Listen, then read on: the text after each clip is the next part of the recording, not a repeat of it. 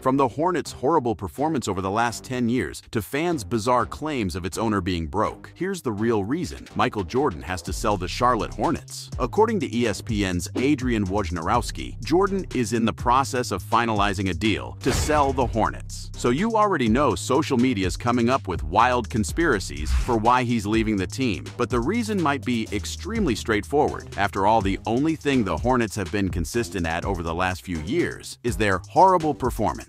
Since 2010, MJ's been the majority owner of the Hornets, but the team's performance has been a roller coaster ride, to say the least. And despite his legendary status as a Chicago Bulls icon plus his own success on the court, the franchise has struggled to score wins under Jordan's leadership, with just three seasons finishing above 0.500 since 2010. The team's inconsistency has frustrated everybody involved. The reality is that the Hornets have failed to make an impact on the NBA. Many people had hoped that with players like LaMelo Ball joining the team, things would change. But with Miles Bridges leaving the league and Ball being injured, it's like they're back at square one. And after the 2023 playoffs, fans actually started feeling bad for MJ. Back in 2006, when he joined the organization, he had high hopes for the franchise. So for a player who embodies the winning mentality, going 6-0 in NBA Finals and losing only one playoff series after his first championship, it's not surprising that the lack of success finally got to him. Jordan must be frustrated by what he's witnessed as an owner. Attend any Hornets game and you'll see it written on his face. So it looks like after years of disappointment and the realization that he's used all his ideas to turn the franchise around, he's finally made the tough decision to sell his majority stake. But hey, at least he's going to be making major bank out of this sale. And according to industry insiders, that might also be the biggest reason why he's going ahead with this. Jordan became the majority owner in 2010 when he bought the franchise for a decent $275 million.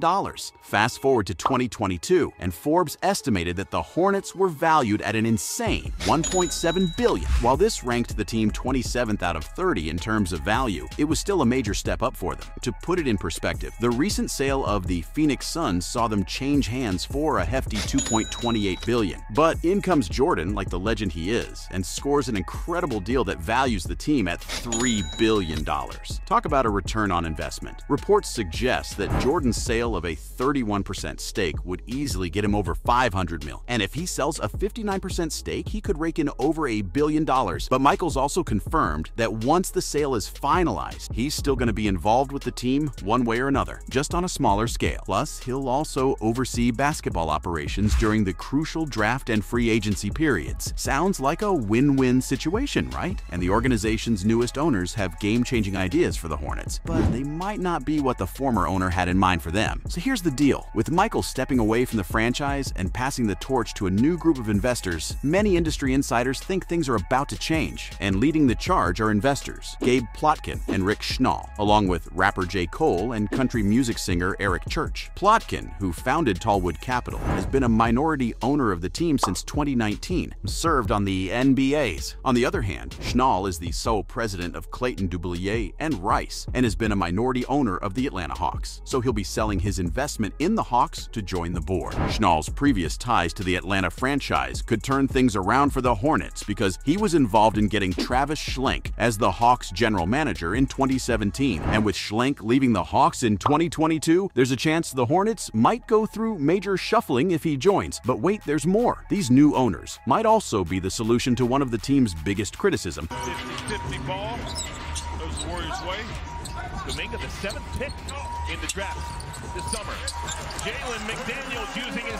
Jordan's lack of spending. Charlotte's been one of the league's lowest spenders, especially when it comes to things like hotels for the players, sports science staff, front office staff, and even coaching salaries. Well, that's about to change because the new owners are set on bringing the Hornets up to speed and letting them catch up with the rest of the NBA. So you can imagine how excited fans are for the change. They say that even though Jordan's a great player, he's a terrible team owner. Evan Kent, who's the mastermind behind the Crown Club, one of the most famous Hornets fan clubs, has been very vocal about the shift. He believes that Hornets fans have been patient throughout Jordan's reign as the majority owner, mainly because of his local ties and his incredible success on the court as a player. But let's face it, even the most patient fans eventually want to see a win for their team. And I'll be honest, Charlotte's fans are amazing for the way they've handled the entire situation. But the time has come for a change. And even his airness knows that. With the new owners, Hornets fans are buzzing with hope. They see this ownership transition as a fresh start. But while most fans are thankful to MJ for all his contributions over the years, some aren't that positive about it. In fact, many people are saying that his selling the Hornets is another way of running away from his failures, just like he did with the Washington Wizards. Back in 2000, he purchased a 10% stake in the team and its arena for a massive 100 million. He'd hoped to not only boost the team's performance, but also increase its popularity. Unfortunately, his time with the Wizards didn't go quiet as planned. During his two-season comeback as a player from 2001 to 2003, Jordan failed to lead the Wizards to the playoffs. He also faced challenges with teammates and coaches, and his questionable personnel decisions, like drafting Kwame Brown as the first overall pick in 2001, didn't help matters either. He also traded Richard Hamilton away for Jerry Stackhouse, which raised some eyebrows. As the president of basketball operations, Jordan's time with the Wizards didn't go smoothly either. In